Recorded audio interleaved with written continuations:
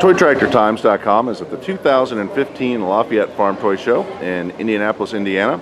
We've got Chris Steve here, who has uh, been at the show a couple years now with some different displays. Uh, he's kind of famous for doing Oklahoma red dirt farms and ranches, and uh, we've got another red dirt farm here this year.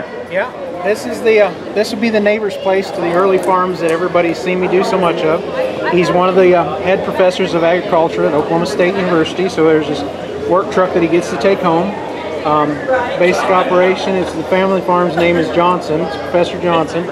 They do some uh, wheat, beans, uh, corn, and they actually do some peanuts as well. Um, they're, uh, this would be early springtime as such. They're putting in some summer wheat over there. They got a 16 row corn planter. Um, their combining is all done by early farms now that they've upgraded and have the Case IH and the Gleaner. So they had a 9600, but they've since got rid of it. Um, as you come around, the, the house was done by Vicki Peterson. I detailed it up a little bit, added the brick and such. And, um, the trees are mine out of brass like the ones I did for Jason's display. Um, these were the prototypes, and just wanted to use them.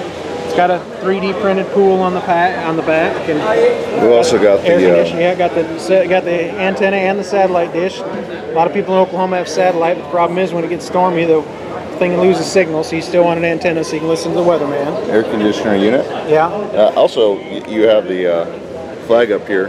Yeah. Top of the pole. And those are I've actually got the ones so I can change it out so whatever the wind's doing. Uh, there was a neat set I found from Code 3 that really worked out cool. Um, as we come along, the Quonset hut was built by Tony Dixon out of Iowa. It's a very nice piece, rounded, and he weathered it up and such. And roof comes off so you can detail the inside of it. There's a uh, peanut inverter in there, digger inverter that was built by Gordy Schultz. Um, some I played with a little bit more on this was rusting some of the equipment up. Some has been restored and some has been really taken care of, but other pieces like the uh, 4055 on the baler, it's probably got 10,000 hours on it. And, taking a beating. Some of the neat pieces that in this is the uh, got a 3020 LP hooked to a uh, 338 baler that's got a got the direct drop style in the back because they use a DewEze hay machine to pick up the bales and you don't have to even have a quarter turn with them. It just drops them straight down. Um, now, can you show us the car here in the back too? Yeah. That's what I call my private Malone project. That's a uh, the guy's got a Corvette that he takes to car shows and such, and um, so that it stays clean in the shop. He's got a tarp for it. The tarp does come off so that he can be driven, but built the tarp out of just uh, uh, basically a paper mache style with uh, some tissue paper. Um, works real nice. I think for a lot of you guys out there who are wanting to do a different detail for like a baler and such, you don't have to go to quite the detail you always had. You can just make a tarp for it to protect the knotters. And a nice Ertl one would do the job. Um, we come around, this is obviously hay field. Got a uh, 7800 on the uh, uh, 835 mower conditioner. Christian Oyster did the mower conditioner up for me. Um, I detailed it a little bit from there. Farm's got an old gin pole truck that they picked up at an auction or something they use when things get stuck or they need to move stuff around the farm. Um, got the main chore tractor. It's a 4020 LP. Loader works. It's got all the lines run on it. It's a Western style with just the uh, straight drawbar on the rear. And that probably was somebody's main tractor one, Probably, and it's still, being LP and even in the wintertime, it's still the main one that gets used around here because she starts every time. Um, and anybody that's worked on an LP tractor will tell you as rough as that looks, uh, you open up the engine compartment and the motor looks like the day it was manufactured because LP burns so clean. One of the neat pieces on this that is a tractor that's used for the peanut equipment is a uh, 8650.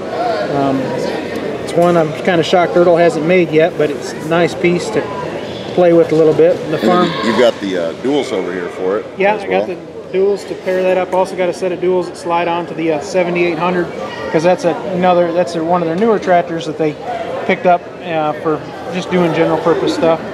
The farm raises them head of cattle. The professor was originally from the Lexington, Kentucky area and really liked the black style fence they do over there. So all the fencing's done in what I call the Kentucky style black.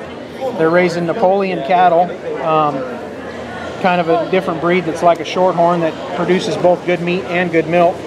Um, so they're doing some experiments with those in warm climates. Uh, the bulls just in here, all the cows and uh, the calves and such would be out on wheat pasture this time of year. Pens are all laid out. Justin Miller did the uh, did the uh, panels for me. Who had the nice beef display at Nationals this year.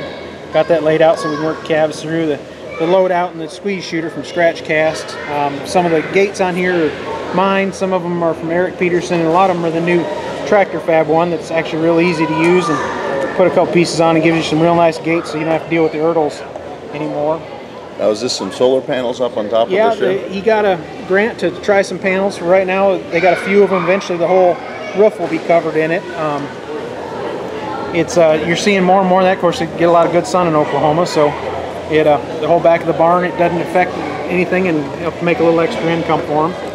There is a couple pumps on, like all of them. So the oil fields have got some pump jacks on them. Um, some of the neat pieces on this one uh, that a different Kerry G calls himself the dogs on our forum built me the nice 63 33 uh, 31 foot land finisher um, got it hooked to a uh, 93 or 9220 or 9320 I can't remember what I think yeah 9220 that was actually Hector Matthews kit that I put together I'm real proud with how that turned out um, farm does run some big horsepower two-wheel drives got a 48 40 in the barn and a 49 60.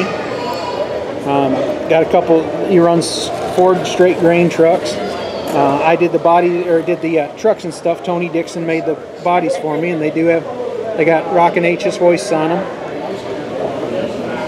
Looking forward to when uh, uh, Top Shelf Replica comes out with the new little Louisville, so I can have a full set of the three of them together. Well, that's a nice lineup of uh, John Deere iron horses. Yeah, there's a lot of people shocked that I got this much green on a display that I did. Now We've even got a the peanut harvester inside. Yeah, the- that's another Gordy piece. It's a nice peanut combine. I weathered her up a little bit. And, um, out here, I got the beautiful 9600 drill that everybody's been staring at that Chris Putman up in Canada did for me. Hooked to an 8960. Now, is that 60 feet wide? That's a 60 foot drill. Yep. That's a big machine. Yep. And he's got it all laid out so it can be tilted up, and it's got the road hitch on it, so it can be pulled down the road sideways the way it is. Got a Kilbros 450 with a uh, Kilbros seed auger on it. The cart was an older one they had around the farm, and they just recently converted it to a seed auger. It does work. It's got Jensen's nice little 3D printed pump on it. Um, and then did up the little Ford fertilizer truck um, for it, so you can fill the So you got some planters. some bags in there. and- yeah, yeah, got some dry mix and such. And Now, what uh, are they just putting like liquid uh, starter on there on the yeah, back I of the tanks? so. Yeah, that's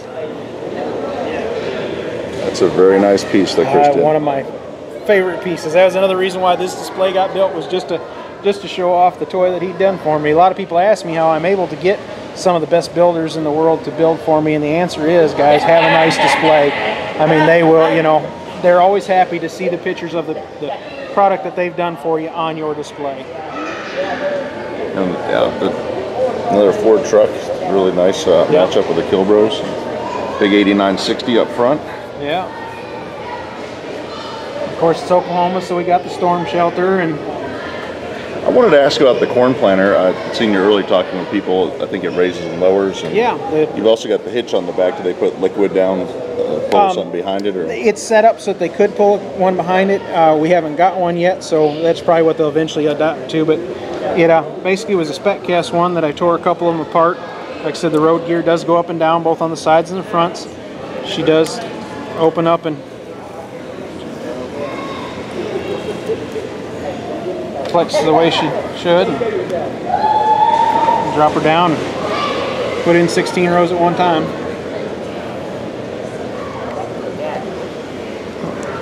some very nice looking custom pieces. Now uh, we've got the. You were saying the the tornado shelter here in the backyard. Tornado shelter just off the backyard, the back porch. Um, new little 3D printed John Deere five wheeler that Grandma probably has for running out and bringing lunch and such. Good old AMT from the late 80s. Yeah.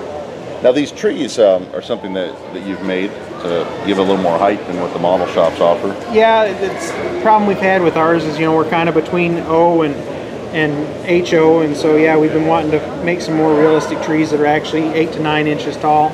Um, that one's actually I think at 11, but yeah, it's it's a challenge, but they're not too bad to do. You take some copper wire and just start spinning and soldering and then put a little glue on it and start playing with whatever. These are actually got a product from Scenic Express called Super Leaf on them. That's um, fun to play with. But it's, like I said, pretty simple one. It was just like it's the neighbor's place. Early Farms runs all red iron and this one runs all green. So you always got the good neighbor battles back and forth on which is better. It's good. I, I like the swimming pool though. Actual water sitting in it with the barbecue and Yeah. everything on the deck. Well, Chris, thanks for bringing another great display out to the show. I know people Appreciate always en- enjoy seeing it, and uh, we look forward to see what you dream up next. we'll see if Dawn lets me.